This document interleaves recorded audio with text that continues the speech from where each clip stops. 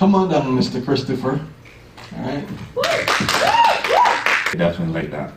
Just let me say a warm good afternoon to one and all. It's a very, very good thing to be in Atlanta, to be in Fayetteville, Atlanta. Um, I got to say very much thanks to Mr. Aubrey Padmore for basically bringing all this together. Yes.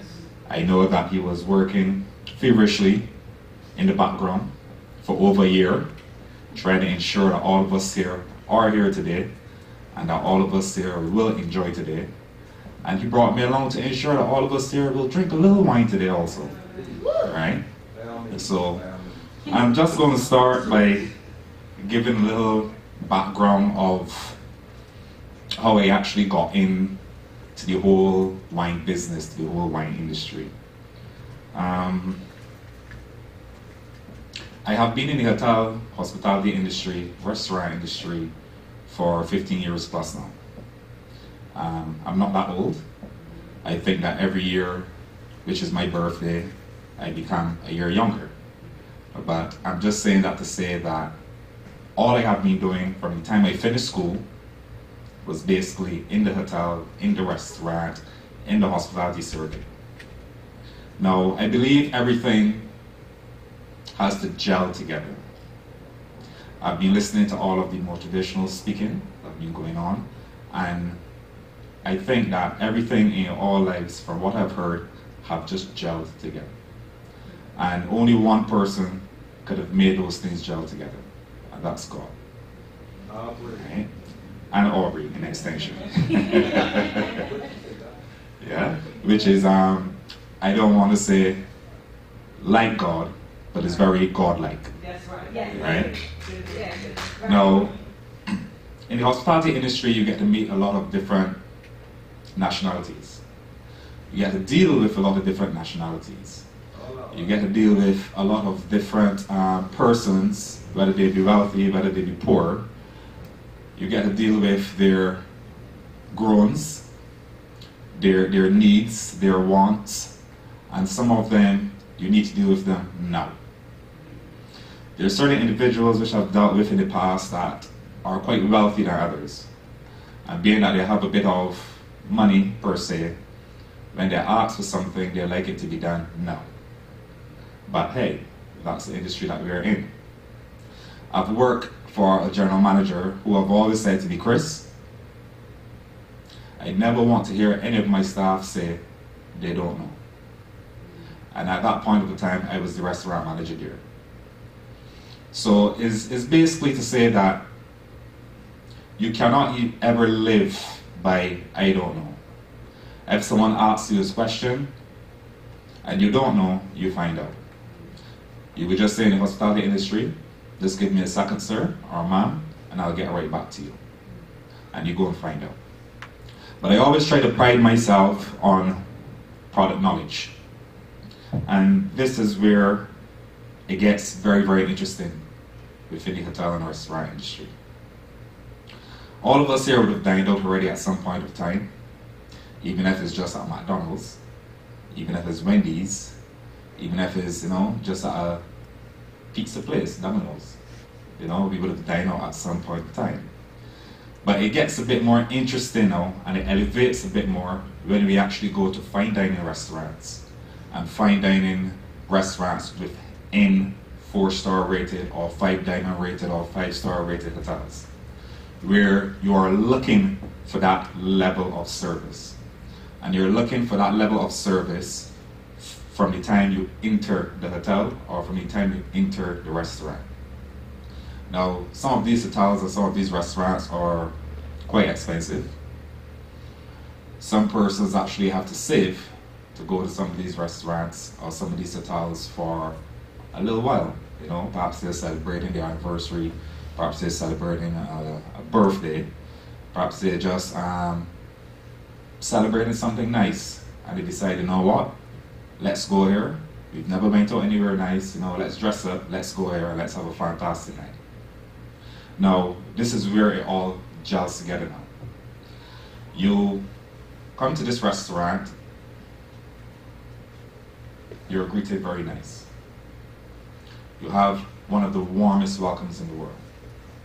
you're shown to your table. You may or may not have a reservation, but that's taken care of. You're shown to your table. You're seated to your table. Sometimes the chair is actually pulled up for you. You're seated for the ladies. Napkin is placed on you, and you're wondering like, wow, you know, you're getting this type of treatment that no way you've ever gotten before. But it's all service. It's all customer service. Then comes to the good stuff, the menu, or the specials of the day, or the drink menu, and you're getting excited. Sometimes you peruse the beverage menu, sometimes you peruse the wine menu, or even the food menu, and you're seeing so much different dishes, so much different options, so much different varieties, things that you've not seen in quite a while, or things that you've just heard your fellow um, employer or employee or your friend or your family speaking about. But you're actually here now to get to see it and to get to experience it. Now, wine. Wine is something that, to me, and this was also written in my biography, that determines the difference between casual dining and fine dining. Now, anyone could drink a bottle of wine. Anyone could go by a supermarket, by a side store, by a mini shop, if they have, and purchase a bottle of wine. But what is wine? What are you drinking? It's okay to just open a bottle of wine, anywhere as you might feel. I'm not speaking about Aubrey, but it's okay to open a bottle of wine, pour a glass, and drink it. But what are you tasting? Have you really went full down in depth to this wine? Now, I really don't want to um, act like I'm teaching one of my advanced classes, but I'm just going to give you a bit of in depth. What is wine? Wine is basically um, a fermentation of grape juices. Simple. It's not anything that has to be long and drawn out. Wine is basically a fermentation of juices that comes from grapes. Now, a lot of people say that wine is very similar to beer because of the process which it goes through. It's quite simple to say that wines are made from grapes and beer is made from grains. Usually both of them go through the same fermentation process, the same distilling process, but it's also a bit different. We're not going to go so high now as to say there are a lot of boundaries where you cross now, where you get into different wines and different beers. Because beers are brewed with a lot of different um, ingredients that are not even used in wines. But the process is basically the same, right? Now, all of us that know about wines, we know at least one or two things. There's a white wine, there's a red wine. Simple. I think everyone should at least know And then we go a bit deeper to have a rosé wine or blush wine. This one is mostly what the ladies like and prefer because they figure that it's a lot sweeter. Right? Now, people might say that wine is something that doesn't interest them. I ask why. Oh, I don't like wine, I don't really drink wine. Okay. Why? And it stops there. They cannot ever seem to finish answering that question. If you don't like something, you should have a reason why you don't like it. Have you experienced it before? Has it done something to you that um, did, did it give you a reaction that you weren't familiar with? Or was it agreeing with your body? Why is it you don't like it? Was it did it upset your stomach? Did it give you um, a bad hangover if you drank too much the next day? Did it make your mouth taste a bit um, filthy? Why don't you like it? You always have to have some reason behind why you like something or why you don't like something. Now, just let's go back to the restaurant setting where you're sat by your server or by your host or by your hostess and you're given the wine menu. Now, some restaurants have a very, very big wine cellar, a very big selection of wines. Another restaurants or hotels might just have, you know, about 20% that size or might half that size. So you're given a wine list, you're looking over this wine list and you're realizing that you're seeing white wines, you're seeing red wines, you're seeing sparkling wines, you're seeing champagnes, you're seeing dessert wines, you're seeing blush and rosé wines, and you're just wondering, what are you going to do here? You have no idea. Now, one wine might stand out mostly to some individuals. These are the wines that are mostly known to be in the retail stores, the corner shops. Um, wines like Zinfandel, wines like Moscato. These are wines that usually stand out for the wine person that, for the wine novice, shall I say, a person that knows nothing at all about wines. Now, this is where the wine sommelier or the wine steward comes in at those establishments. Because you know what you're going to order on the menu. The menu is quite simple. You've got a selection of different choices. You have beef, you have uh, chicken, you might have lamb, you might have different things on the menu which you're familiar with, but you really want to get the full essence of this meal. Now, some of these meals are done by very, very, uh, I would use the word here, top notch chefs. Um, very well educated guys, a kitchen team that would have put all these ingredients together to give you a mind blowing flavor and also a mind blowing taste when you actually go in deep down into these dishes. But what else is there? You now need a nice wine to pair with that meal to actually bring out the full flavor within this meal, to actually make you feel like you're doing something different for a change. And this is where the wine sommelier comes in.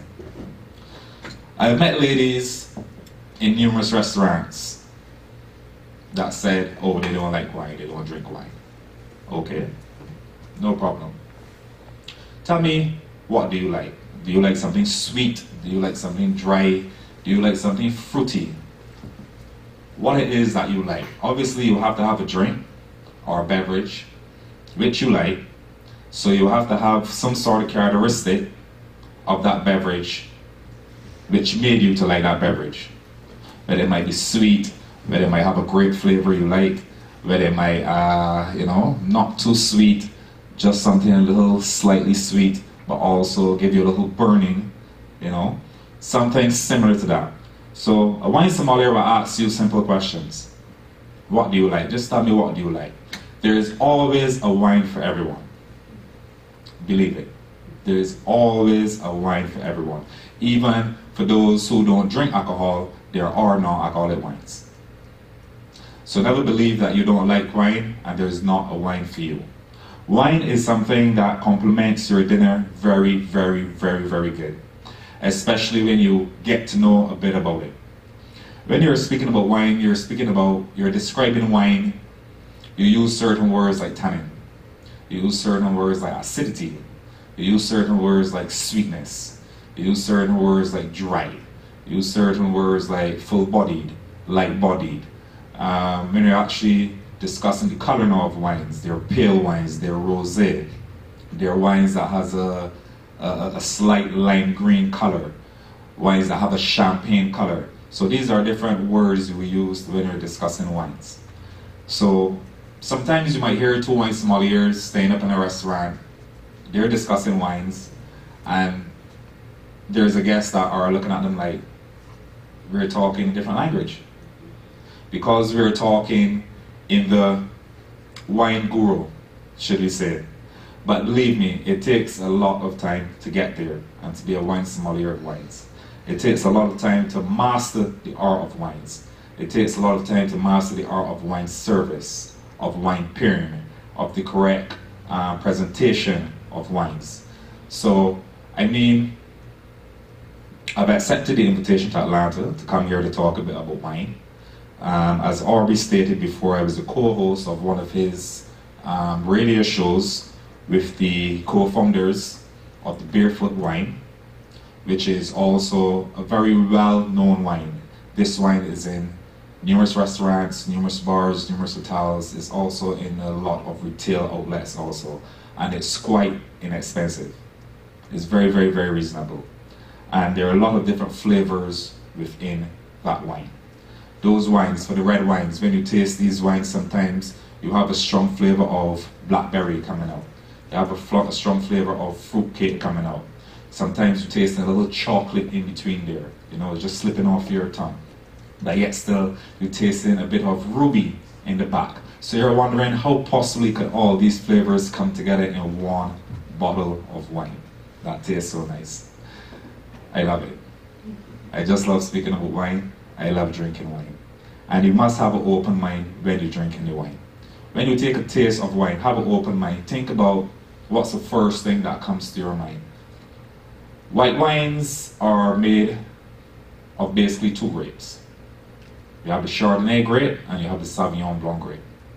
Red wines are made of, I would say, basically two grapes also, because you have a Merlot and you have a Cabernet. But the white wines, the red wines, sorry, they go a lot further than that, because then we have wines Shiraz, we have Malbec, you know, we have Chiantis, which is a little more over the boundary now than just from a Merlot or a Cabernet, which I will not go into right now because it's a it's a very huge, a very large topic, the topic of wines. So there are now we come in now to the rosé wines and to the champagnes and to the sparkling wines. Um, there is one, for example, that I would like to talk about that I think comes a lot uh, out of the realm of these wines, which is uh, very nice. I would call it, I would put it in the category of a sparkling wine because it's not a champagne, Prosecco. I think a lot of us would have heard about Prosecco already. And Prosecco is made of a very unique grape by the name of Glera. So it is not something that you would find in Chardonnay, uh, in Sauvignon, or in Cabernet or Merlot. It is very um, standalone, so to say, by itself. And it's also very, very, very unique. So I don't want to go too far into that. We will have a couple of wines afterwards from the same uh, Barefoot. And you could come over, you could have a little taste of these wines, your choice, red or white. And um, a little taste, Greg, taste, taste, taste, yeah. And I'm going to ask you a couple of questions, and you can also ask me a couple of questions. So basically, I would like you to, anytime you taste a wine, to have a full open mind. What is the first thing you taste? Think about fruits. Think about things like apricots. Think about things like ripe apple. Think about things like gooseberry. Think about things um, uh, like black currant. Think about things like blackberry. These now for the red wines. Think about different spices. Think about chocolate. You know, all of these things are actually components that make up a very, very, very good wine. And when you really go deep down into wine storing now, it's a whole different thing altogether. Because wines are made to store at correct temperature, which gives you the flavor that you need to taste and the aromas that comes out of the wine that circulates that you need to taste. These flavors actually goes very good with certain meals. This is why we pair certain dishes with certain wines. All white wines in certain countries are supposed to be kept at a correct temperature. Now, certain countries are a lot hotter than others, so there are wine fridges that are designed with internal temperatures to ensure that these temperatures are kept. A basic white wine is to be kept at least, um, let's say, between 16 to 18 degrees, and this is Celsius. Obviously, you can do the conversion into Fahrenheit. And a red wine is supposed to be basically kept at room temperature. But sometimes outside is so very hot that room temperature is not room temperature. Sometimes you're inside that same room and you're sweating you know, you're very, very hot. So you can imagine how the bottle of wine is feeling. It's uncomfortable. Yes, it has feelings. It's uncomfortable. You know? So you need to ensure that it cools down a bit.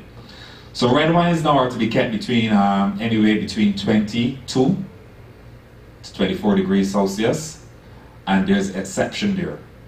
There's the exception of the Shiraz or the Pinot Noir, which is to be kept at least 26 degrees Celsius, right? Because they are a bit more lighter, and they also carry a bit more flavor, right? So, as I said, I really want to go full in depth of the wines. Just let me close by saying that there is a wine for everyone. Everyone has a liking. There are over, I don't want to say a million wines, but I guess I could say a million wines. Because wines are being produced every year, wines are being made every year. Um, certain years are actually better than other years. This is where the vintage comes in. When you see a wine and you look at the wine bottle, sometimes you see the year, sometimes you see a 2015, you might see a 1998, you might see a 2001, that is the vintage. That is the actual year that those grapes were actually harvested in the, in, in the, um, in the vineyard for the process to start to have these grapes made, right? So never believe that there is no wine for you. Anytime you go dining and you go to a restaurant or you go to a bar and you see the wine list, you know, just ask the barman or if there's a wine sommelier, just a little taste. A good wine sommelier or a good barman or a good wine steward should always be able to present the customer with a little taste and be able to give a little background and talk a little bit. It's not only product knowledge, but it's also upselling. Because if you could speak to your customer, very fluent and very knowledgeable, you could guarantee at least 93% of the time you're going to get a sale. At least 93% of the time, as long as you put over yourself and adapt to the situation, at least you're going to get a sale 93% of the time. Okay? So I'll just leave you with a bit uh, before we get into any wine tasting after. You could come, you could taste, you could ask me any questions. I'm definitely going to ask you questions also. But just remember to keep an open mind and think fruit wise. That's the first thing that you should start off as a person that wants to get into wines, that might like wines, but just keep your mind open to any single fruits, any flavors that you might think of, and believe me, 99% of the time, that flavor isn't in that wine. Thank you very much. Woo!